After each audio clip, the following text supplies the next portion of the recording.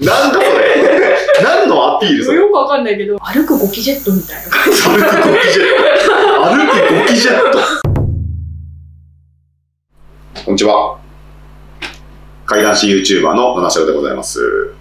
というわけで本日は、熊子七城のゾッとした例の話。いやー、またね、まだまだ。楽しいお時間ですね。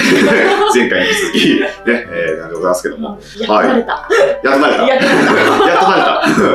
まあまあ、まあ、慣れたところでね、もう、もう、今何、何割、6割、7割、6割7割ぐらいかな。7割ぐらいもうぐらいね、あの、もう終わって結構消化した。そうですね、消化。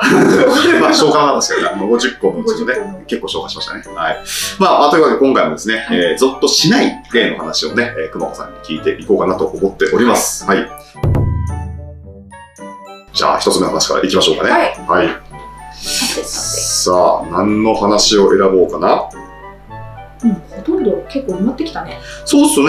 結構埋まったかなっていう感じはあるんですけど、えーっとね、そうね。何からいこうかね。うん。プロレス例ってやつ、これちょっと気になるね。25番ですか？25。うん。ちょそれからいきますか、じゃあ。はい。はい。じゃあ、今回一発目ですね。はいプロレス例。プロレスで。うんはい。前から七代さんにちょっとお話ししてたと思うんですけど、うち、はいあの海外のあの WWE ってプロレス見るの好きだってちらってああ、そう話。うん。してたじゃないですか。で、なんか結構向こうのプロレス変わってる試合多くって、うんで、まあ、変わってる試合に伴って変わってる透けてる方々も結構多いんですけど、そういうものはね。そうそうそう、はいはい。プロレスラーの後ろについてる人ってマッチョかなって勝手に思ってたんですけどあの割ともやしみたいなやつ結構いて。ええー、なんか、そういうの多くないっすか？なんかね、うん。いやちゃんとマッチョの人もいるの屈強な後ろの人に屈強な人か屈強な後ろの人にすげえもやしみたいなへえー、面白い。感じのが結構いて、はいはい。で、まあ、その中の試合で、うんあのロイヤルランブルって言って、うん30人が一気に試合するみたいな感じのねああ、プロレスだとね、ありますね、そういうの。でもう最初に2人か3人ぐらいリングに立はいはい、あっ、ってて。うんで30秒ぐらい経ったら、まあ、なんか何人か投下してみたいな感じの。うわーってね、流れ込むみたいなね。そうそうそうそう、んで30秒経って新しいやつがタタタタタって入ってくるんですけど、入ってくるのを抜かして、うん。透けてるやつが抜かして自分が立ってってうわーみたいな感じでやってるのとか。おリングの中に。そう。うわーみたいな。何勝手にやっとんねん。そう。でしかも 誰に技もかけるなくうわーって言ってるだけ。盛り上がっただけ。盛り上がってる。うわーって言っただけで別に何かやるわけじゃない。そうそうそう。そう でうわーってみんながもういい感じになんかもう10人15人みたいになってうわーってなってる中でうなんかその中でも透けてるやつがうん。あの戦ってる風な感じで一緒になって技を一緒にかけてるみたいなのとかもいる中で一番最初に出ててうわーってやってるやつだけまだわーってやってるんですよ。え永遠にコーナーのところに立ってうわーってやってでうん最後の一人になってその人優勝しましたってなった時もうわーってまだやってるからそいつが優勝したみたいになってるのなんか。そうだね。あ他の人ね例見えない人はなんかちゃんと優勝した人見えるんだけどでなんか久保さん的にはそいつが一番優勝した人なのそうそうそうそう。勝ったぞーみたいな感じでやってるあみんなみたいな感じでやってるんだけどやば。なんかいや何もしてないじゃんみたいな。ずっとコーナーに立ってわー言ってるだけじゃんみたいな。そそうだよう30分近くずっと。言ってるだけなんだけどなんかまるで勝ったかのよそうそうそうそう プロレス楽しみなくない？それでもそしたら。なんかねうん。あでも一応ねそこはねもう目目こうやって薄くしてみてるからもう本当にもう。それねそもそもね。こうやって薄くして。薄くして薄くして気にしないように見てるけど、それだけはもうもうずっと目立ってたからダメだった 普段めったに上がってくることないのに、うん。上がってなおかつ目立つところでずっと「わーい!」ってやってるから、もうそれだけはダメだったなっていう話いやー、でもなんか大変ですね。なんかこうね、薄めで見なきゃいけないとかね、ちょっとドラマとかも楽しめなかったりするじゃないですか、聞いてると。めっちゃめっちゃ気使うねいやー、なるほどね。そりゃアニメに走りますよねあそうだね。絶対出ないからね。実写は出るからね。実写は出ちゃうからね演技するやつとかねそうそうそうプロレスに参加するやつとかいるからね。いやー、なるほどな。いやー、でもこれ、なかなかね、ちょっと、あの、例が見えない人にはわからない苦労の部分もありますね。うん。どっとね疲れますわな、まあ、そうです。うんうん。楽しいんですけどねなんか試合自体はきっとそうね。きっとだけど、ずっとコーナー叫んでるやつがとかいるから邪魔なんでしょ。邪魔いやいやいや、まあまあまあ、でもまあ、まあ、おかげさまででもこうやってね、うんあの、面白く話を聞けてるっていうのがございますので、まあ、はいありがとうございます。はい。というわけで、じゃあ、まあ、次の話をしますか。はい。次の話は、何にしようかな。なうん、もうなんかね、今のも気になったけどね、そうだね。気になるやついっぱいあるんだけど、まだまだ。うん、えー、っとね、そうっすね。うん7番、こう、ウリ二つ。ああ、うん、これなんかちょっと気になりますね。どどういうことなのかなっていうね。似てるってことは何かと何かが。なんかね、もうこれも結構自分の中ですげえ不思議な話の部類に入るんですけど、んお母さんのいとこのお姉ちゃんが。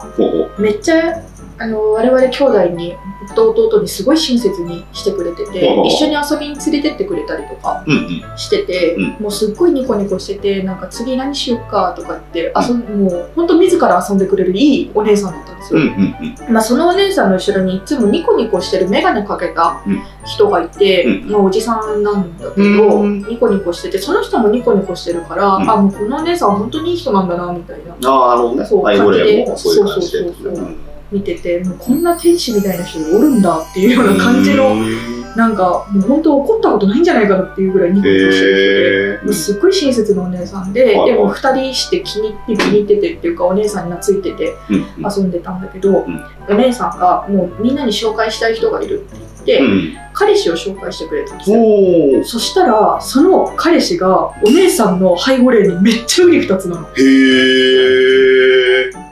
すごい。で本当に似てて、うなんかもうなんなら眼鏡の形も似てんじゃねえかみたいなああ、そんなことあるんだね。そう。似ててうわーっと思って、うん。で直感で思ったのがあこの2人結婚するなと思ったの、まあ、相性は良さそうだなみたいな感じで思ってて。でそしたらその眼鏡かけたおじさんが初めてあのその彼氏さんを指さしてこいつと俺似てるだろみたいな。なんだ何のアピールそれよくわかんないけど、うん。いいいいやつだと思うんだみたいな感じで。ね。そう。すげえ褒めてて後ろの人。あだからなんか別に他人なんだろうなと思ってそあ。の、うん。そのおじさんとうん。彼氏さんは他人なんだろうけど、なんか似てることにびっくりしたらしくってその後ろの人は。背後霊持ったのか。えー、なんか連れてきた彼氏そうでしょそうでしょそっくみたいな俺と、みたいな。え これなんだろうなみたいなちょっと思っててえうん。で今もあのラブラブで過ごしておりますもう結婚してあええすごい。えー、面白いな。これすごい興味深いわ。ねなんか世界には3人ぐらい似てる人がいるって言ってたけどはだからその透けてる界隈も合わせたら何人ぐらいになるんだろうみたいない透けてる界隈。界隈透けてる界隈との似てるかどうかって似てるかどうか。そうね。確かに、でも、すごいね。